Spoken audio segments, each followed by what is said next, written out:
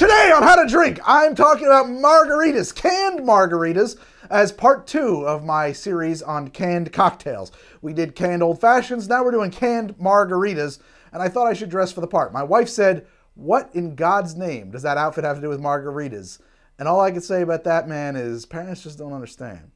That's a Will Smith reference. It has nothing to do with what I'm talking about, but I did just physically, just now, shoot the one on canned old fashions, so I'm in I'm in the danger zone. In the danger zone. It's no living in the danger zone. It's highway highway to the danger Highway. highway to the danger zone. What do you mean living in the danger zone? That's a completely different.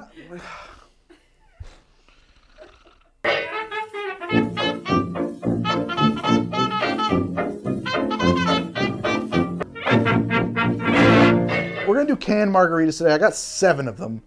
In fairness, I just did a bunch of canned old fashions. I don't know if I'm gonna get through all seven right now. I gotta think about my health, friends. Friends, friends, I love you, but I gotta think about my health. So maybe I'll get through all seven. We'll try. But I think first up, I gotta make a margarita baseline to have for comparison. So um, I got a margarita glass right here. I'm gonna salt half the rim. Whew, that salt really grabs. That's a lot of salt. All right, we got that salted up. Let's get a shaker here. We'll try it. This is not my favorite juicer. I don't know about this juicer. This is not. This is one of those real shallow dish aluminum cast aluminum juicers. I hate this juicer. God damn. God damn this juicer to hell. Horse feathers.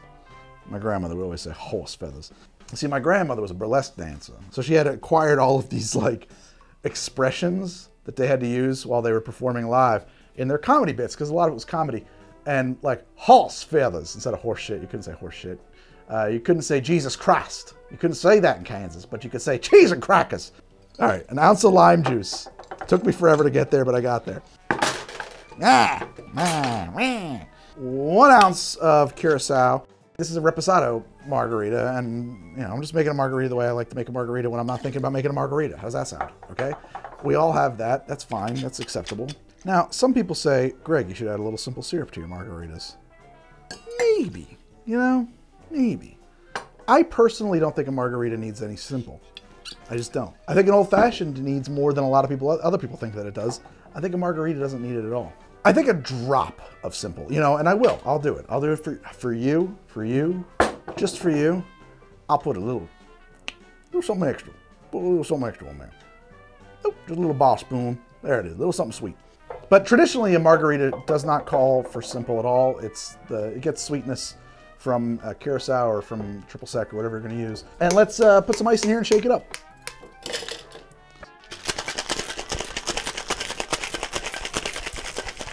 Let's put that into this glass. I think I should do more costumes on the show in general. I have a dramatic soul. Really just like let my freak flag fly. That's what I'm thinking. Here we go. This is a, uh, a margarita. I don't know why I'm giving you tasting notes on my margarita. Ooh, that's good. Ooh, refreshing, tart, really just mellow.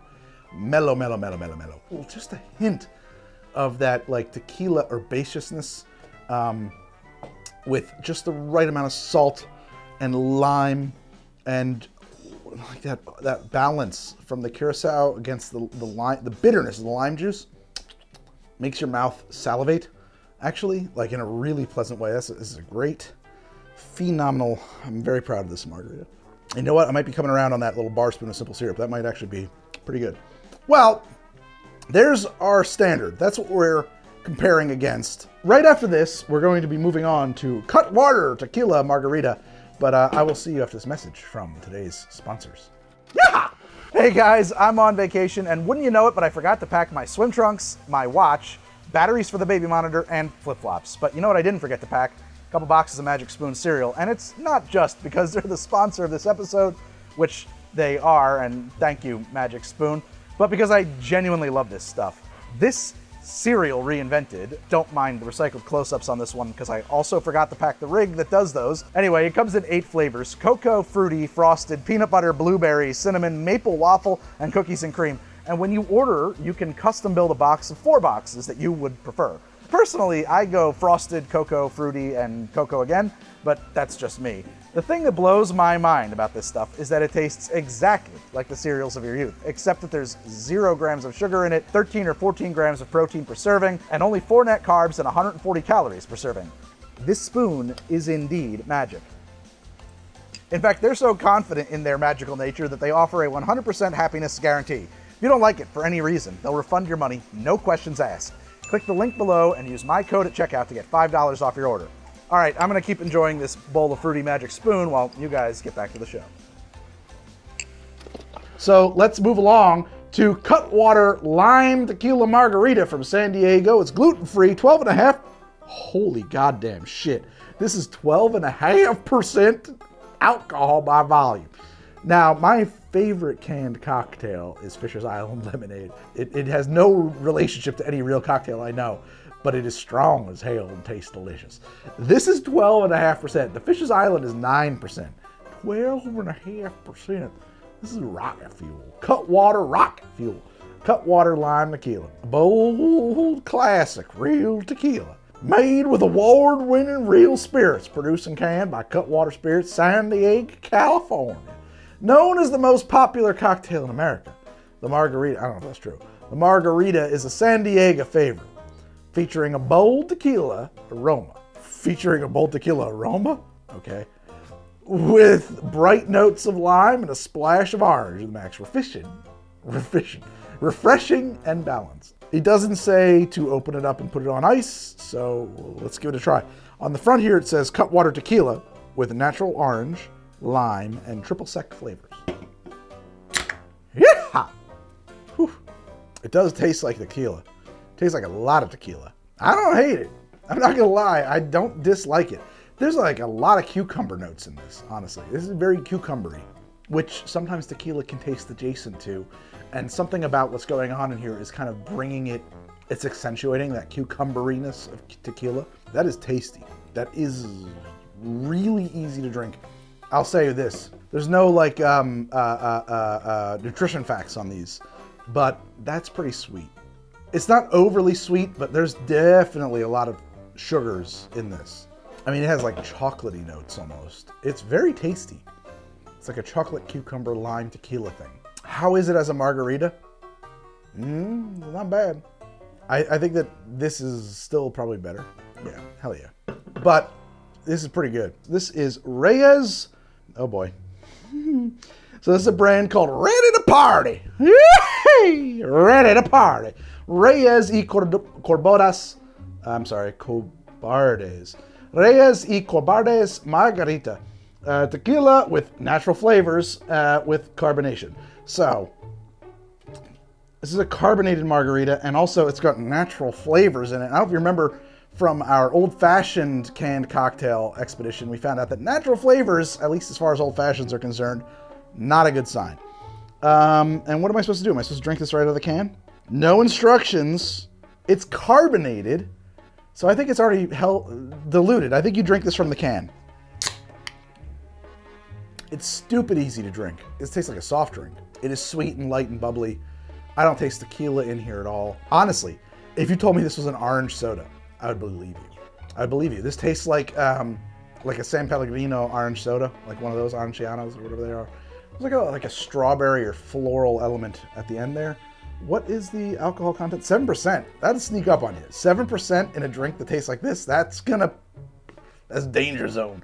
That's that's risky territory, risky business there. There's not like a lot of evolution or um, um, a lot of evolution or or like um, like you know it doesn't do a lot of stuff. There's not a lot of complexity to it. That's what I was going for.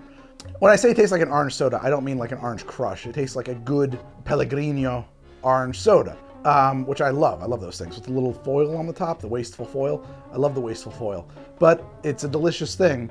Is it a margarita? I guess it might be.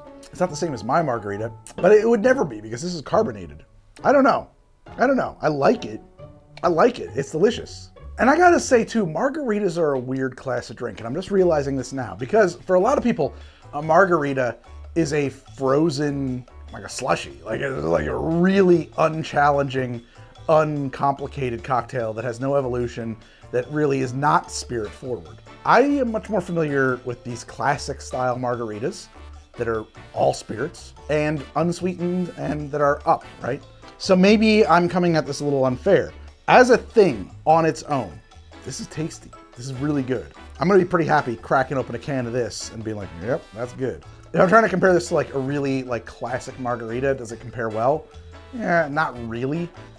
But I don't think it needs to. Like, I think it's still good. There's nothing in here that tastes bad. You're gonna like this. You're gonna like it. It's good. Um, Reyes a Cobardes. Not bad. Pretty good. Canned margarita. Let's move right along. I have low expectations here. Shake well is the first thing on the can. Fabrizia. Italian margarita. Limoncello, lemon juice, and tequila. 7% alcohol. I wonder if 7% is like the magic number for canned margaritas. Uh-oh. Well, that's well shook, huh? Good thing this one isn't carbonated. 100% all natural. That means nothing. No preservatives. I would expect there not to be. You don't need to preserve something that's been pasteurized and canned. It's not necessary. That's the process of canning preserves it. It's great to put no preservatives on there and all natural. Lucky Strikes is toasted. Anyway, yeah, so this refreshing, ready to drink cocktail is handcrafted with Fabrizia Limoncello tequila. Oh, no, Fabrizia Limoncello, comma, tequila, and fresh squeezed lemon juice from sweet Sicilian lemons. Ooh. No added preservatives. Shake well and enjoy. Hashtag live life zesty. I like that. Okay, let's try it. Here we go. Fabrizia. Makers of fine box wines. This is bad. It is a flat, weak lemonade. That's all it tastes like. It tastes nothing like a margarita at all. It is not exciting or enjoyable or fun. Um, in all of the ways that the Reyes y Cor... Cor- I am so sorry, guys. In all of the ways that the Reyes y Corbadas margarita is good, this is bad. This tastes like what I always imagined Boku to taste like. All natural flavors. You guys remember Boku? No wonder I need a Boku. Juice box for grown-ups? We're adults, we can choose. Not great. I have nothing to say about it. I have nothing to say about it. It tastes like a fake, bad, flat, weak ass lemonade. I'm very sorry, but that's what it tastes like. Stuff it in the corner. Put it away. Oh, well, we should have a place of shame. Where's the shame spot for the cocktails? I don't care. So this is post meridiem. The real lime juice margarita. 100 milliliters, 27, 27.5% alcohol by volume.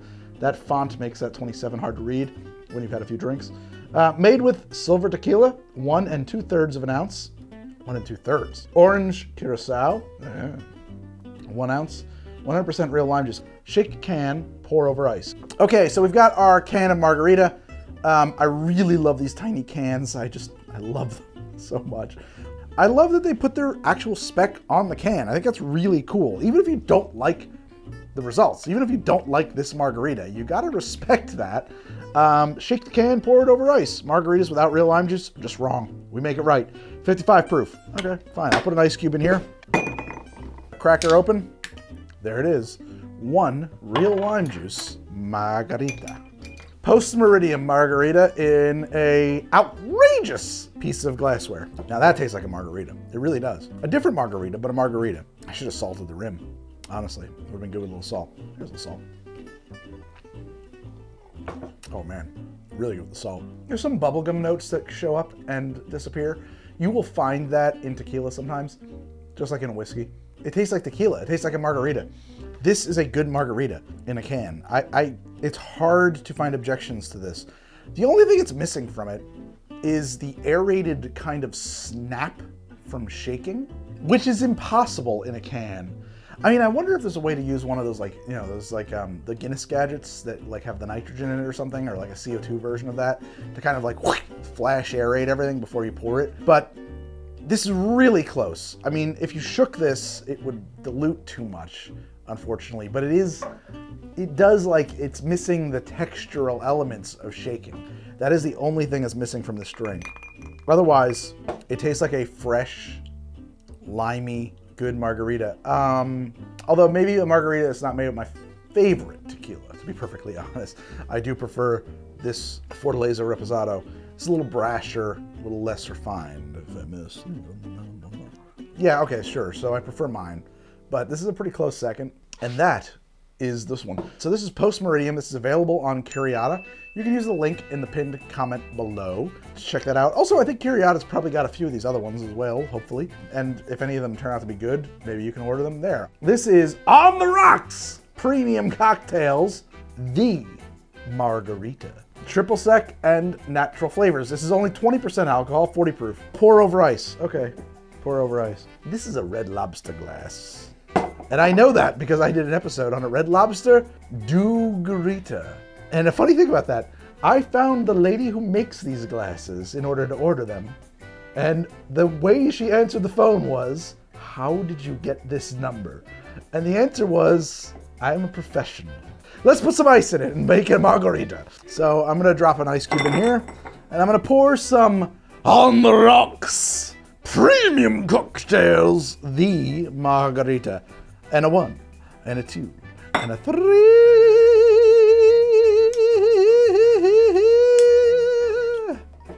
This tastes fake. There's something very artificial tasting about this right away. It has a Sour Patch Kids kind of citrusiness to it that tastes very like, like that's not real. And that kind of buries all the other flavors that are in there. And you kind of get this like ghost of tequila. This like, is there tequila in there? Yeah, I mean, there's something that tastes like the echo of tequila, but it's so deep underneath this citric acid from this like, um, like Sour Patch Kids, like straight up Sour Patch Kids. It's not bad tasting. It's actually pretty drinkable. As a margarita, it is not a very good margarita. As a cocktail, it's not a very good cocktail, but it does not taste bad. You know, I should explain myself here because what I'm saying is when people say like, "Hey, does it taste good or does it taste bad?" and I'm like, "It tastes okay. I would drink this." But it's a bad cocktail. What the heck do I mean? That's a really that's a weird thing, I guess. A cocktail like a margarita, a classic cocktail, really should feature and accentuate its tequila. Um, it should put that on a pedestal and it should be balanced and it should have evolution. The flavor profile of that sip should take you through a few steps before it gets to its end. It should have an evolution. And a good margarita does, especially when you have a little salt in there, man. It's a drinkable drink, and it's like, what is it, 12.5% alcohol, so I better stop drinking it. How many, how many, how many alcohols is this? Oh my God. This is 20% alcohol. Woo! Bar, that's some fancy stuff. Let's move it right along. All right, so this is best tasting margarita, period. That's what it says up top. Sip Margs. And that logo, that whole setup reminds me of Thunder in Paradise. Part of the UPN 9 action pack back in the 90s, starring Hulk Hogan and that other guy. Uh oh, it's a bubbler. Um, and it's, it's fizzing up. What does it say? Serving size, uh, one container. Amount per serving, 130 calories, 8 carbs, zero protein, and no fat. Well, I'm kind of glad there's no protein in my margarita. Tequila with triple sec, natural lime flavor, uh oh, and sparkling water. Sip Margs wants you to know it's the best tasting margarita, period, period. Margs, noun. Oh, weird. In the pronunciation here, they have the long A symbol over the A, so it's Margs. All right. Informal slang for margaritas. Where are you from? That you got? That's got to be some Illinois shit. Margaritas, uh, um, a uniquely refreshing, easy to drink cocktail with just the right touch of sweetness, and also three, your favorite new margarita, no shaking required. Please recycle. Five percent alcohol. You drink this one from the can. It's a uh, margarita seltzer, I guess. I am hammered. No, man. No, man.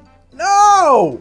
That tastes nothing, absolutely nothing like a margarita. There's, there's nothing margarita about that. Nothing. It tastes like a lemongrass seltzer. That's what it tastes like. It tastes like lemongrass, which is not my favorite flavor, by the way. You lie. This is not the best tasting marg. Marg, period. I don't taste tequila. I don't taste lime. Tastes like seltzer and lemongrass. Not lemon, lemongrass. It's not undrinkable. It's fine. There's no off flavors. But if your expectation cracking this can is margarita, you will be disappointed. If your expectation for no reason at all is lemongrass seltzer, 5% alcohol, you'll be like, oh yeah, that's what that is. That's what that tastes like. Tastes like lemongrass. Doesn't taste anything even remotely close to margarita. Let's move along to Fling Craft Cocktail Margarita Fiesta y Siesta. And that means nap time and party, but the other way around. Party is fiesta. Made with American agave spirit. Uh oh. What the fuck is American agave spirit? okay, buddy. Neutral spirits, lime, salt, and other natural flavors from the Boulevard Beverage Company. There is something so deliciously kitsch 80s about the Boulevard Beverage Company's logo that like they're getting points for that. I like it. I like their logo. Makes me feel groovy inside.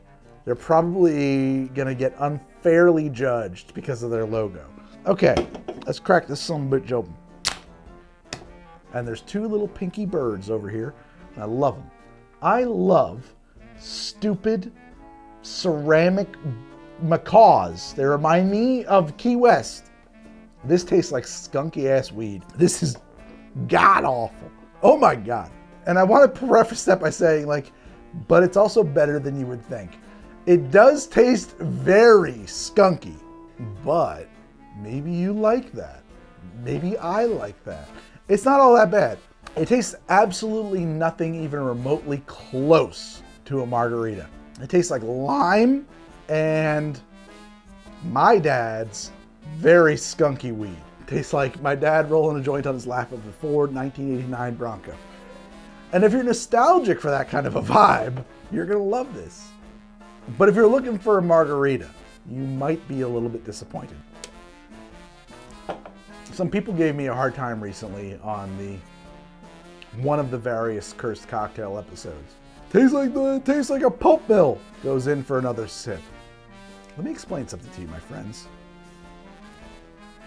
I'm a professional. My job is to drink this stuff and tell you what I think about it. By God damn it! I will drink this can of skunk weed. I will drink the swill so that you don't have to. That is my promise to you. Yeah! The Fling Craft Cocktail Margarita. Don't taste like a margarita. So if you're looking for a margarita, I'd skip this one. All right, so what did we learn about canned margaritas? Honestly, none of these blew my mind. But I gotta say, that might be my own prejudices because my personal margarita is a very classic margarita. Um, and something like this Reyes, uh, Reyes y Corborda, Cobardes margarita is delicious.